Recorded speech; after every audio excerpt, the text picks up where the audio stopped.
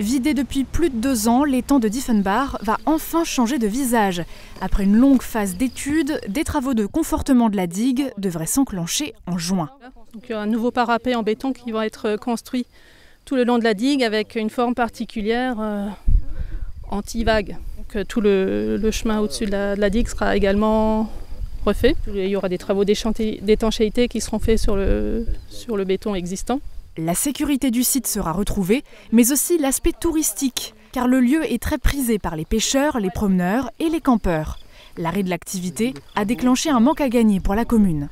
Donc euh, oui, on a hâte que les choses se fassent et qu'on retrouve ce plan d'eau euh, qui est le plus important de la ligne Imagino-Aquatique puisqu'il fait 75 hectares de, plan d'eau.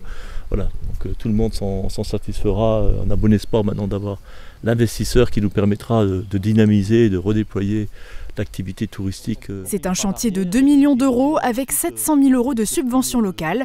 La fin des travaux est prévue en septembre. Il faudra ensuite attendre près de deux ans pour que l'étang se remplisse à nouveau de manière naturelle. Mais pas besoin d'attendre autant pour remplir le dernier bâtiment du pôle médical prévu dans l'ancienne résidence senior de la commune, qui avait été désaffectée car plus aux normes. Ça conforte l'offre déjà existante, puisque vous avez juste au droit de cette maison un, cabinet privé de quatre médecins, deux autres qui sont situés à, 50 mètres et l'EHPAD juste à l'arrière. Donc la volonté, c'est de créer un, pôle médical euh, à un seul endroit dans la ville.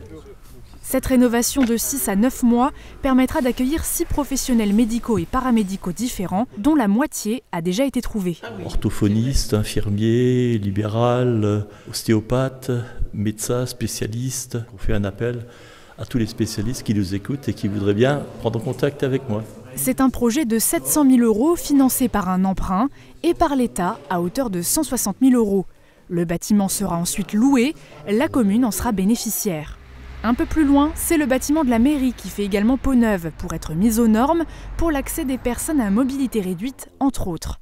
Un ascenseur y a été installé pour 79 000 euros. C'est deux fois plus cher qu'un ascenseur euh, classique parce qu'il a des normes spéciales pour les personnes handicapées. Il y a eu 30% euh, de subventions. Ces travaux doivent donner un coup de jeune au bâtiment, très bien situé dans la commune, mais aussi permettre d'accueillir de nouvelles activités la porte qui est là, elle va être ouverte et va rejoindre les locaux euh, de la DGFIP, puisque la DGFIP est dans nos murs, hein, elle tient permanence pour les élus locaux et pour la population. Donc euh, on perd ce mur-là et on va de l'autre côté.